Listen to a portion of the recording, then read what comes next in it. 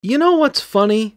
Doug Funnie. You know what's not funny? The story of how Doug went from Nickelodeon to Disney. They were very happy with it, and on paper, everything looked great. But the fans of Doug didn't seem to think so. Today, we're going to take a look at how Disney was able to get the Doug franchise from Nickelodeon, and how they changed the show overall that led to the death of Doug.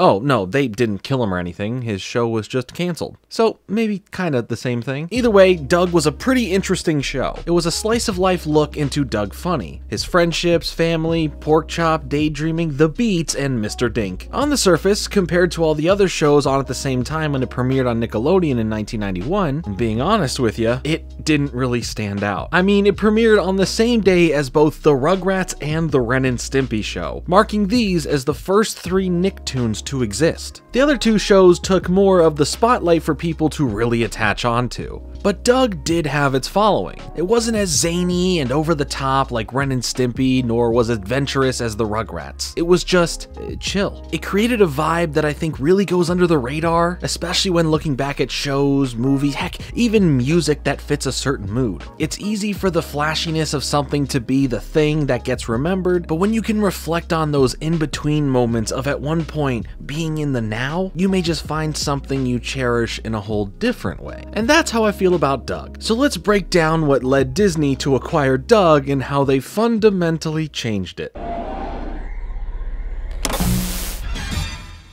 Summarize what Doug as a show is, is pretty simple. It follows Doug in his adolescence navigating everyday challenges one would face at that age. Boom, print it, ship it, Bob's your uncle. How do you know my uncle? That's not important. What is important is first understanding Doug's relationship with Nickelodeon before Disney came to Home Rec. First, let's start with Jim Jinkins. Hey, I'm Jim Jinkins, creator of Disney's Doug. He worked as an actor on some earlier Nickelodeon projects like Hocus Focus and Pinwheel. He established a nice relationship with Nickelodeon for a good while and took some time after a bit to work for Children's Television Workshop, or as we know it today as Sesame Workshop. But beyond all of that, in between his working commercials and advertising, he would create doodles of a boy and his dog that in fact would actually incorporate into his commercial work. These characters would be the blueprint for both Doug and his dog Porkchop. He would later take these designs and retool them for a book he made titled Doug Got a New Pair of Shoes. After the book, Jim took his doodles to the animation space,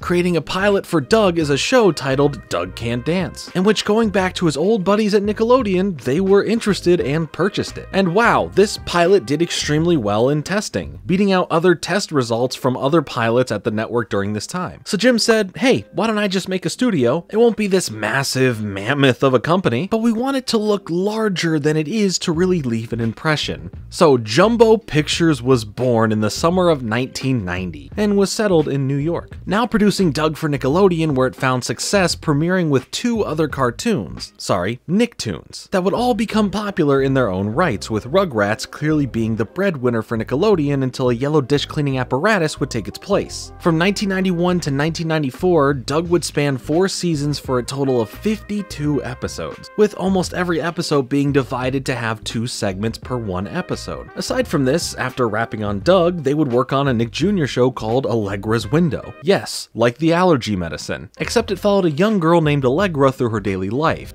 doing whatever. I don't know, I never watched it. But I don't want to just brush over this whole after wrapping on Doug thing I just said, as there is more to it than that. Originally, Doug was ordered for 65 episodes, very similar to the Golden Disney number that they love so much. But after four seasons of 13 episodes each and only ever hitting 52 of that 65, the next season of 13 was declined by Nickelodeon to continue. Not because of the ratings, or at least as far as we know any major problems behind the scenes, but for the fact that the show itself cost a pretty penny to produce at Nickelodeon, especially as they were dealing with an apparent budget freeze. But here is the overall thing. When it comes to Jumbo Pictures, they held the rights to their properties they were making, meaning if there would be a split from Nickelodeon or the current contract ends, stuff like Doug would still be owned by Jumbo. Nickelodeon themselves had a deal with Jumbo though where they would have two years after the end of production on Doug to reverse their decision and move forward with the show again, so they wouldn't be able to do anything with this property until that decision time has ended. During this time, however, they were being poached by other networks and they were using it as leverage to push Nickelodeon into hurrying their decision to greenlight the fifth season of Doug. This is a common business tactic that can both work or fall back in your face depending on your perceived overall value to the company you're dealing with. In this case, it's a bit of both. You've got his name. Doug. Doug. Doug. Doug. Doug. Turn it up. Doug's back. It's now 1996, and the two year window is coming to a close for Nickelodeon to make a decision. It really felt more like they were being strung along for the sake of just squatting on the IP, rather than Nick truly feeling like they were hard at work thinking about what they want to do with Doug. Clearly, the leverage angle did not work, and once the timer of waiting came to an end, ABC, who had been trying to poach them, was purchased by the one and only Walt Disney Company. And Disney wanted to follow through with going after Jumbo Pictures. This multi million dollar deal wouldn't just be for Doug, of course. I'm coming back for everything. But mainly they just wanted Doug. This deal would be far more lucrative from the jump, giving Jumbo Pictures a five year contract, stock options, executive roles, and access to executive bathrooms.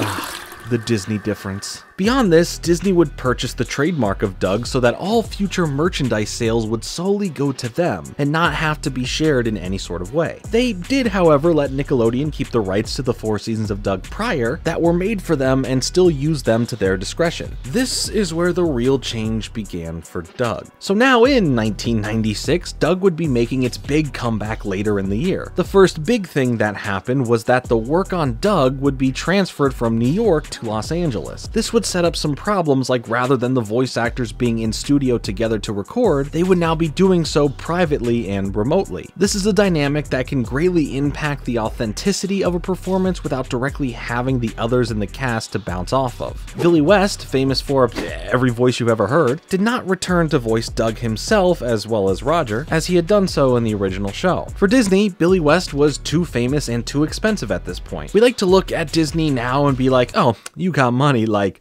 money money, but they are a business and have to calculate if it's worth the price for something many shows already do sometimes, and that's changing some voice actors. Disney themselves had a lot riding on Doug. It was a roll of the dice in order to see if the fan base would still be there with the addition of having to tune in to a new network to watch it. But to their credit, they did come out swinging with 65 episodes over the next few years from 1996 to 1999 for three full seasons, beating out the amount of episodes the original show had. And even more stuff after that, but let's not get ahead of ourselves. Right off the bat, things were different. For one, Doug now would be full episode length stories, rather than two shorter segments to fill in a full episode's runtime. With Doug already being at a chill pace at a shorter runtime, the problem the show faced with fans, and me personally, is that it felt a lot slower to make it through an episode. Sure, stories can be more fleshed out and more time can be given to character interactions, but something just feels off.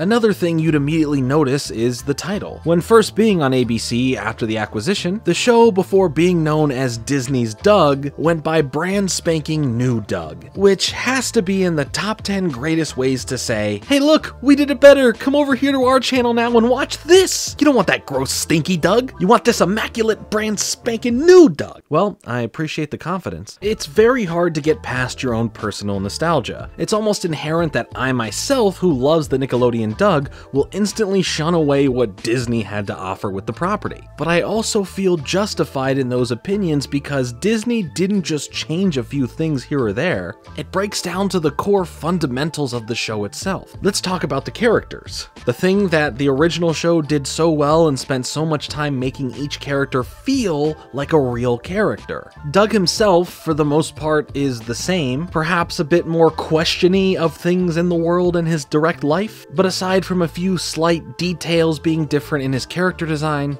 he's pretty much the same. But let's also talk about Connie, a more side character from the original show, but just as unique apart from anyone else, where she was drawn to be a bit more heavyset. But Disney reintroduces her as this. Yeah, okay, sure, but it's really the explanation why that makes it weird, and that's because in the show they explain that she went to a makeover camp over the summer, which is, uh, well, no pun intended, carries more weight than what it feels like on the surface level. Patty Mayonnaise also got a new look. You know, everyone had to change their hairstyles over the summer. Come on, they gotta stay hip with it. I just said hip with it. I'm old. Right, Skeeter? Give it up. There's Cleopatra. Oh, sorry. Cleopatra Dirt Bike, Doug and Judy's new baby sister. Don't worry, one of those names I just said is a nickname. You can figure that one out. Roger is now th- rich. I'm rich. It all honestly feels like Disney wanted to change so many little details to separate the two versions of the show, but instead, these, what I guess they thought were little details, really transitioned the characters we knew and loved into the exact opposite. I neither know them nor love them. But what about Beebe? Beebe Bluff's so rich she can't afford to change. Hey, buddy,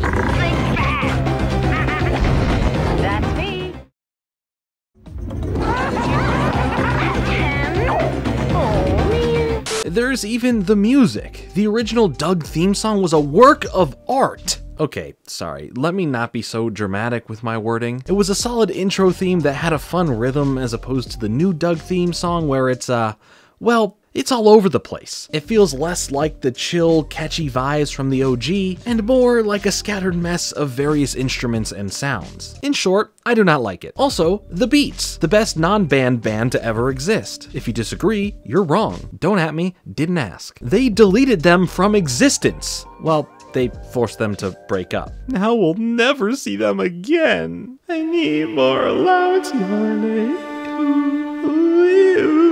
Killer tofu.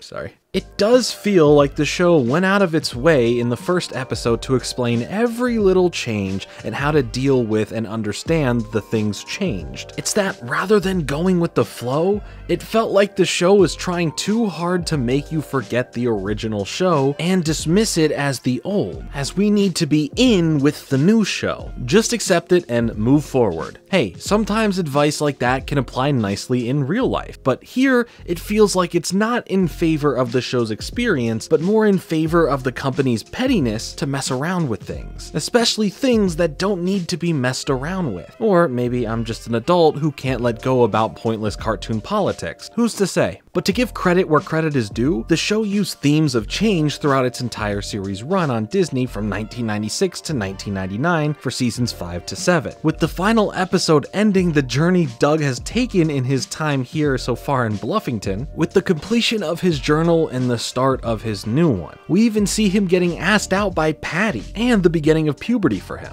ending the show itself on a rather nice bookend, closing this chapter in Doug's life and at the same time ours as well. Now, everything behind the scenes wasn't all sunshines and rainbows though. All of the changes made to the show under Disney had original Doug staff members claiming that this new Doug was inferior to the original Doug. Jim was not as involved as he once was in the production of the Disney version, and at some point he was even quoted as saying, I mostly agree with Doug fans who think the original 104 11 minute Doug stories made for Nick were the best. Now, before the show would wrap up in June of 99, Disney would release Doug's first movie.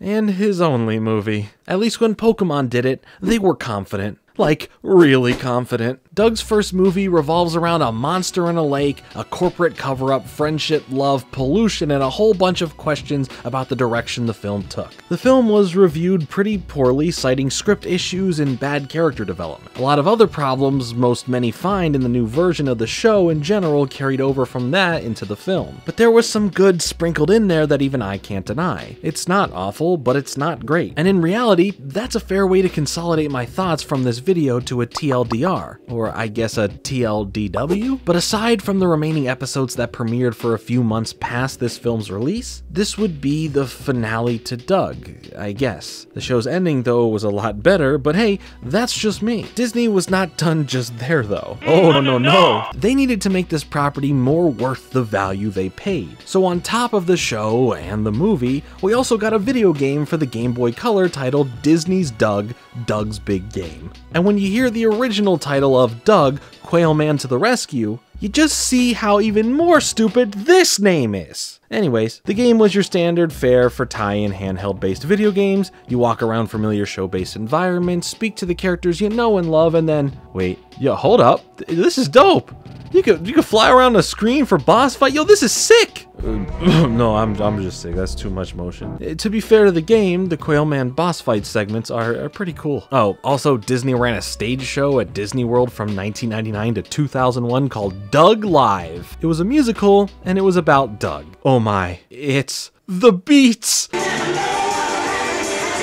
Cool. Well, that's how Disney changed Doug. They still own the rights to the show as of today, and sadly, they have no plans to do any sort of revival for it. But in a day and age where everything is coming back after many years, I wouldn't be surprised if they wanted another exclusive series to Disney Plus. Hey, maybe even Doug can get his second movie. Who knows? But what I want to know is your thoughts on Doug in general, and which version do you prefer? Nickelodeon's original Doug or Disney's Doug? Let me know in the comments. Thanks so much for watching. Make sure to hit the like button and subscribe for more content like this. I'll be back soon with another video, but until then, later.